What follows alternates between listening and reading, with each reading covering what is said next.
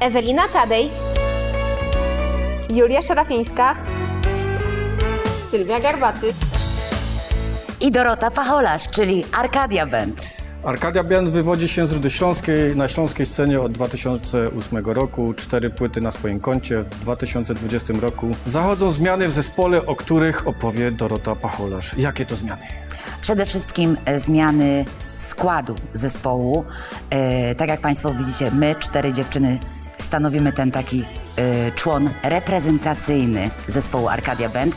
Natomiast e, są jeszcze dwie osoby w składzie zespołu Arcadia Band, których e, Państwo będziecie mogli zobaczyć tylko i wyłącznie na koncertach. Jest to nasz e, nowy nabytek, czyli realizator dźwięku, pan Marek Mazur, którego serdecznie pozdrawiamy, prawda dziewczyny?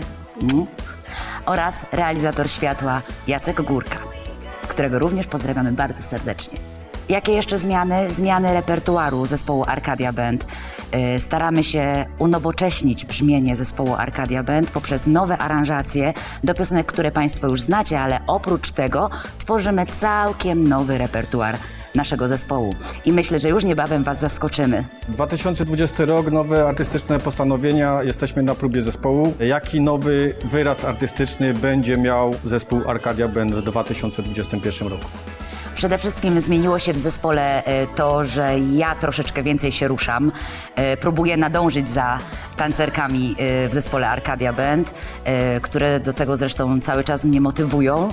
I przez to zespół Arcadia Band, właściwie koncerty zespołu Arcadia Band będą bardziej takie żywiołowe i dynamiczne. Myślę, że to jest taka zasadnicza różnica między tym, co było, a tym, co nadchodzi. A co na to pozostały skład zespołu? No, powiem uczciwie, że chłopcy, chłopcy się bardzo cieszą, jak nas widzą na scenie. A dziewczyny? E, no u nas, czy coś się zmieniło? Mhm. E, no dalej tańczymy. no jedynie em, tak naprawdę aranżacje, o których już powiedziała e, Dorota, e, troszeczkę zmieniają nam układy w, w niektórych piosenkach, natomiast no, w dalszym ciągu będziemy robić to, co robiłyśmy. I to wszystko? No nie możemy wszystkiego zdradzać, musi być jakaś tajemnica. Ale po to jest telewizja, żeby zdradzać. E, mogę zdradzić jeszcze jedną niespodziankę, którą już niebawem będziecie mogli Państwo zobaczyć na naszych koncertach właśnie. E, wprowadzamy nowe atrybuty taneczne do niektórych tylko piosenek, ale to są takie rzeczy, których myślę, że do tej pory jeszcze nie miał nikt ze śląskiej sceny artystycznej. I więcej już naprawdę nie zdradzimy. To znaczy, jakie atrybuty? Nie powiemy. Aby jeden atrybut proszę wymienić. No dobrze, LEDy. LEDy to znaczy? Więcej nie powiem. Dobra, w poprzednim podsumowaniu listy śląskich szlagierów szlagierowo.pl szlagier Tańcz, gdy Buzuki gra zostaje przebojem roku. Jakie założenia na podsumowaniu za 2020 rok? No ja myślę, że y, może być coś jeszcze lepszego niż y, tytuł Szlagier Roku. Oczywiście, y, jak każdy artysta śląskiej sceny, chcielibyśmy ten tytuł również zdobyć i w 2020 roku. I to zależy tylko od Państwa. A pozostały skład co na to? Mamy dokładnie takie same zdanie. My jesteśmy zawsze jednomyślne. Mamy ciężki czas pandemii, jesteśmy na próbie. Rozumiem, że te próby y, są po to, żeby nie zapomnieć y, o bycia w zespole i żeby wejść w sezon, który też jest niewiadomy.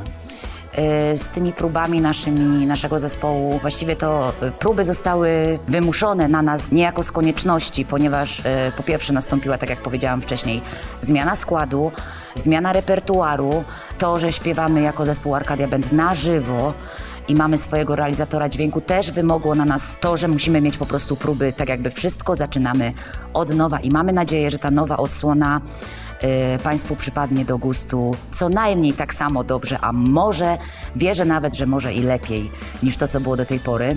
A te próby tak, oczywiście są y, organizowane przez nas po to, żeby nie wypaść, że tak powiem, z roli, czyli żeby móc utrzymać formę, bo to jest też bardzo ważne.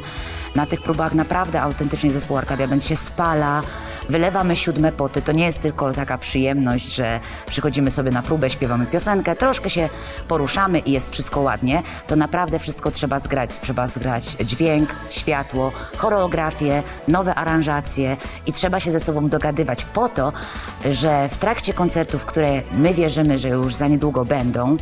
Kiedy jedna na drugą dziewczynę kątem oka zerknie, to już ta druga wie o co chodzi. A to zgrywanie trochę trwa i właśnie po to są te próby. I chciałabym tutaj zaznaczyć, że te próby zespołu Arcadia Band odbywają się w Domu Kultury Kazimierz w Sosnowcu. Tak daleko Arkadia Bęc Rudy Śląskiej e, podąża na próby co tydzień, które trwają naprawdę po kilka godzin. I bardzo serdecznie z tej strony dziękujemy panu dyrektorowi Domu Kultury za to, że umożliwił nam e, to, że możemy tutaj co tydzień się spotykać i naprawdę dla was, kochani, ciężko pracować a efekty mam nadzieję, że zobaczycie już niebawem. I chciałabym jeszcze dodać, że próby zespołu Arcadia Band całkowicie są sfinansowane ze środków naszych prywatnych.